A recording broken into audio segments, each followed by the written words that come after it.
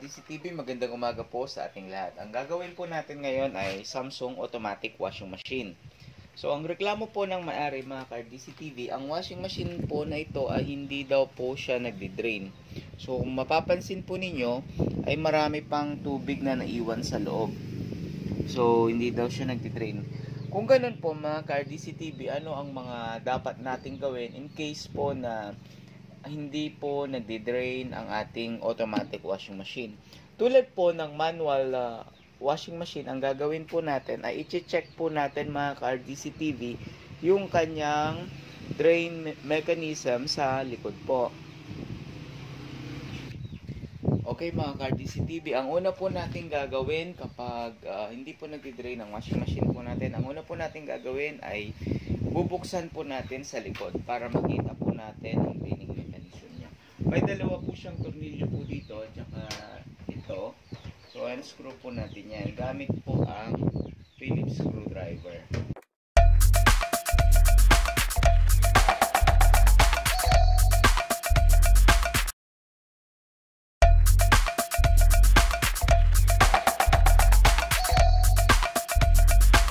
Ayan po mga ka-RDC TV. Tignan po natin dito sa baba. Ah, so ito po ang mga i-check po natin. Ito po ang i-check natin mga ka-RDC TV. Itong drain niya.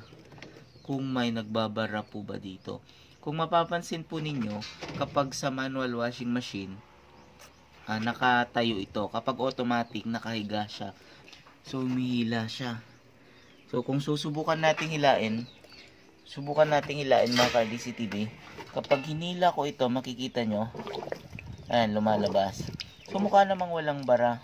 So, bakit hindi siya nagdi-drain? Ayan, no. So, check po nating mabuti yan mga ka-RDC TV.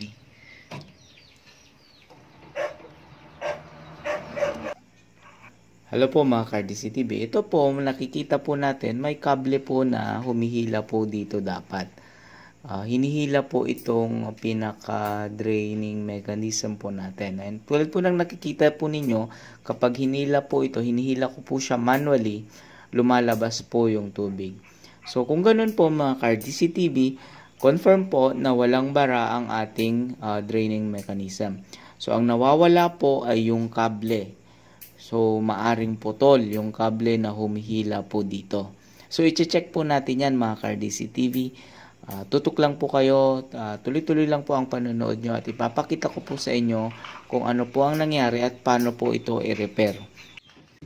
Ito po mga ka-RDC TV, medyo ipahiga po natin ng konti yung ating top load washing machine at para makita po natin yung silong niya, kailangan po na buksan natin. Madali lang pong buksan po ito mga ka-RDC TV. Hihilain lang po natin yung pinakatakip po niya. Hilain po natin siya para mabuksan natin mga ka-RDC TV at madali pong ma-access, madali pong uh, makita yung problema dito sa uh, draining mechanism po niya. Ayan po mga ka-RDC TV, nabuksan na po natin. At ito po yung makikita nyo yung mga parts po niya. Ayan yung makina niya. Ito yung belt. Ito po ang pinaka uh, tinitignan nating problema niya mga ka-RDC TV. Yung kanyang uh, drain. May kable po ito. Mukhang wala yung kable. Ayun, makita po natin yung kable na putol siya mga ka-RDC TV broken cable. Parang din po, parang ganun din po sa manual, 'di ba po napuputulan din tayo noon. Ito, makita po ninyo uh, na putol po yung pinaka tie wire. Ito po yung humihila doon sa ating uh, uh, draining mechanism para maglabas uh, ng tubig at mag-drain. Ayun po, hinila ko po siya kanina, nakita nyo naman po at nag-drain siya. Ang reklamo po ng may-ari, hindi daw po siya nagdi-drain. Kasi, uh, wala na po yung cable, putol po yung cable, mga ka-RDC TV. So, ang unang gagawin po natin, i-detach po natin tong electrical niya. Pagkatapos pong ma-detach ang electrical ay uh, ilabas po natin ito para ma-access po natin, matanggal natin yung putol na kable at mapalitan po ng bagong mga ka-RDC TV.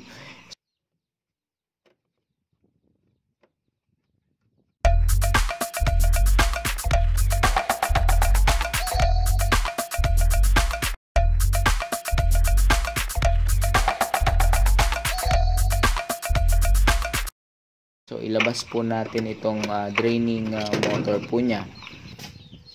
Inatanggal na po natin itong uh, uh, motor, draining motor. Ito yung humihila po doon sa uh, draining mechanism natin doon sa gate ng tubig. Tanggalin po natin ang tornilyo mga RDC TV.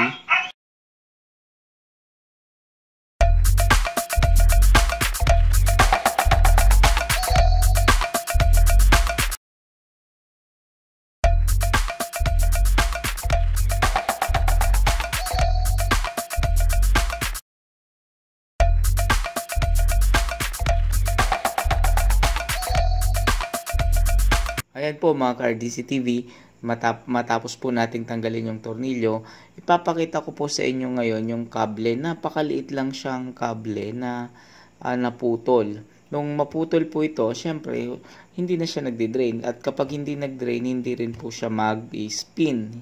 Kasi hindi matapon yung tubig. Makita po ninyo mga ka-RDC TV, uh, naputol po yung pinakakable niya naputol. Ayan po mga KRDC TV, makikita po ninyo yung kable na naputol. Napakaliit lang, mga wala pa atang 3 inches ito. So napakaliit lang na naputol. Hindi na gumana yung spinner, hindi na rin siya makapag-washing. 'Di ba mga KRDC TV? At ito po yung ipapalit po natin na bagong kable ito po yung pinaka bagong ipapalit po natin. So install po natin ito mga ka-RDC TV at okay na rin po yung magiging okay na rin po yung ating uh, Samsung top load washing machine. Ayan po. So install po natin siya mga ka-RDC. Madali lang po tong install. Ayan, papasok natin. Tapos okay na po yan. Pagkatapos po nating ma-install ito mga ka-RDC TV, ma-install yung ating bagong uh, uh, cable training cable. Ibalik po natin yung uh, bakal, yung plate na nagma-mount magma-mount po doon sa tab. So ibalik po natin mga ka-RDC TV.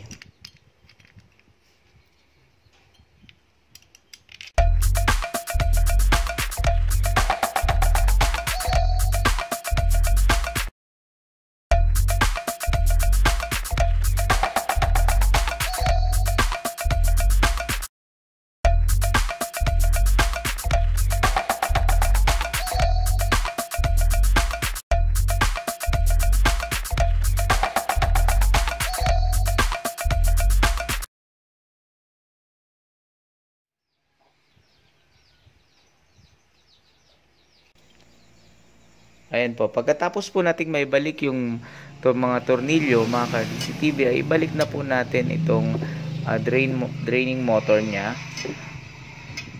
sa pinaka-tab. Ibalik na po natin siya mga ka-CCTV.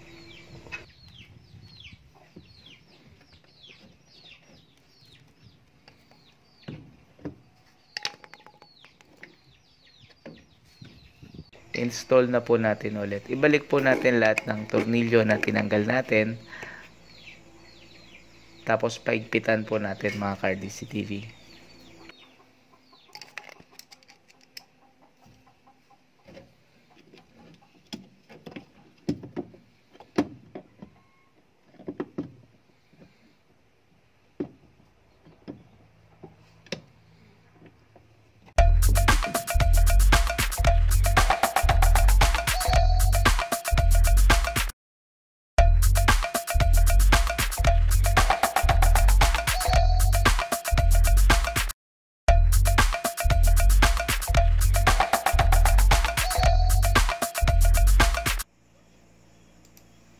Ayan po mga ka-RDC TV, matapos po nating may balik na nakikita po natin ngayon yung pinakakable niya. At pagkatapos din po nating may balik ay ibalik na po natin ulit ang kanyang electrical, yung pinaka-electrical po niya. Pagkatapos po niyan mga ka-RDC TV ay balik po natin yung takip dito sa may baba. Bali, tula iusok lang po natin ito. Pagkatapos po na maibalik ito mga ka-RDC ay i-test na po natin ang unit.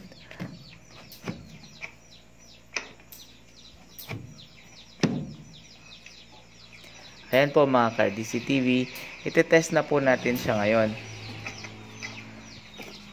Nakikita po natin yung draining cable po niya, mayroon na po. Dati po kanina wala to, putol. Ito po yung pinalitan natin mga Cardis TV. Ngayon po, kung sakali po na hindi po mag-drain ang inyong uh, automatic washing machine, kalimitan po na kalimitan po na problema niya ay may barado po siya dito dito sa may uh, dito sa may rubber cap po niya may sumiksik po na barya mga tela na nandyan po kakalimitan po ganun ang problema. Pero kakaiba po itong washing machine na to dahil hindi naman siya barado pero naputol pala yung cable po niya mga ka-RDC TV. So i-test na po natin siya mga ka-RDC TV. Uh, i-on na po natin ng unit. Anyway po, ini-invite ko po kayo na i-comment po sa baba yung kung may problema po ang inyong uh, uh, automatic washing machine o kaya manual washing machine, i-comment nyo lang po sa baba at uh, try ko pong sabot ng aking makakaya ay masagot ko po. I-comment nyo lang po sa baba mga ka-RDC TV at sasagutin po natin yan. At uh, mga ka-RDC TV, iniling ko din po sa inyo na sana patuloy nating suportahan yung channel natin. Paki-like po yung mga videos natin, paki-share at pa-subscribe po yung channel natin. Huwag nyo rin pong kalimutan mga ka-RDC TV na i-click yung notification bell para lagi po kayong updated sa mga makabuluhang videos na ina-upload po ng channel po natin. Ayan po, balik po tayo mga ka-RDC TV. Start na po natin na i-test yung ating Samsung top load washing machine. Kanina po hindi po siya nagdi-drain ngayon. So masusubok na po natin kung magdi-drain po siya ngayon. At naikabit na po kasi natin yung training cable. Ayan po mga ka-RDC TV, nakita nyo po umaandar, uh, umaandar na po ang wash motor at makikita natin mamaya mga ka-RDC TV. Salamat po sa uh, panonood nyo mga ka-RDC TV at sana ay lagi nyong uh, tutukan at suportahan ang channel po natin. RDC TV, ang teknisyan ng bayan. Ayan po, makikita po natin mga ka-RDC TV, nagdi-drain na po siya ngayon. Nung dinala po ito, nung pinika po namin, hindi siya nagde-drain, tinatabo pa nila. Kasi nga po, putol po yung cable. Ulitin ko po, ang kadalasan na uh, dahilan ng hindi pagdi-drain ng automatic washing machine ay barado po yung kanyang draining mechanism. Maaring may sumiksik na kung ano-ano dyan. Uh, barya, tela, ganun po ang dahilan. Pero ito, kakaiba itong na-encounter natin na to. Putol yung kanyang cable na humihila doon sa draining mechanism. So sana po ay nakatulong po ang video po nating ito mga ka-RDC TV. Nakatulong po sa pag-ayos po ng ating uh, appliances sa bahay. Maraming maraming salamat po sa panonood at pagsuporta at sana ay huwag po kayong magsawa na i-like at uh, i-share po at i-subscribe po ang channel po natin. Ayan po mga ka-RDC TV, umaandar na po ang ating uh, washing machine. At nakita nyo po, nag nag ano rin po siya kanina nag nag drain ayan parang helicopter